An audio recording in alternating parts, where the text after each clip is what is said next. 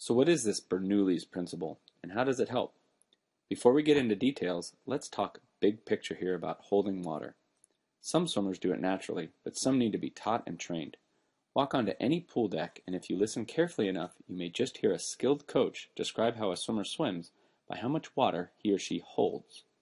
This goes back to the one concept I try to get across to my high school swimmers each season.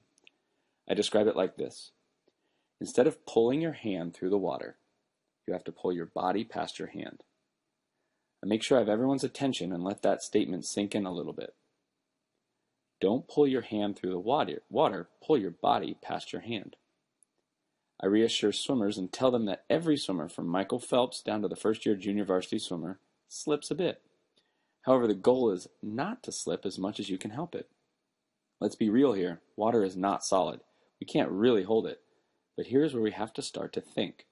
Think of swimming upstream. Why is it so hard? For people who have experienced it and actually tried to swim upstream, it is real easy to imagine. As you pull your hand through the water, the water doesn't push back on your hand to push you forward. The water is going in the same direction as your hand trying to pull. Your hand is slipping.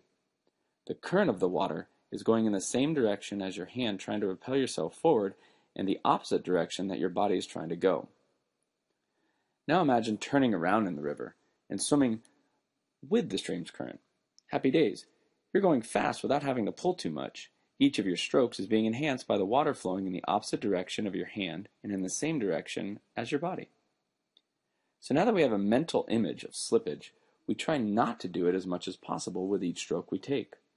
I tell my swimmers that this sport would be real easy if we installed ladders about two feet deep and parallel to the surface of the water. They could push off the wall, just grab the solid rungs of the ladder to propel themselves forward.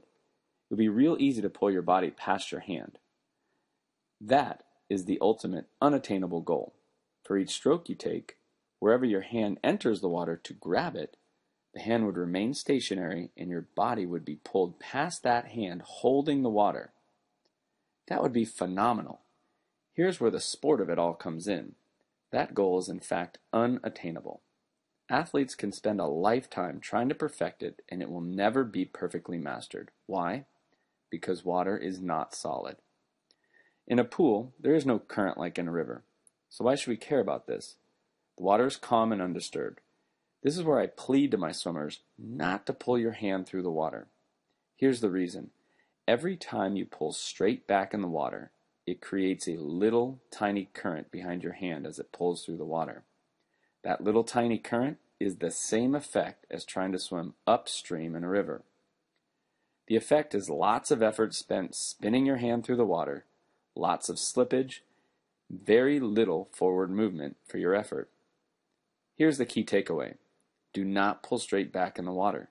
It creates slippage, it is not efficient, and it actually causes a lot of overuse injuries.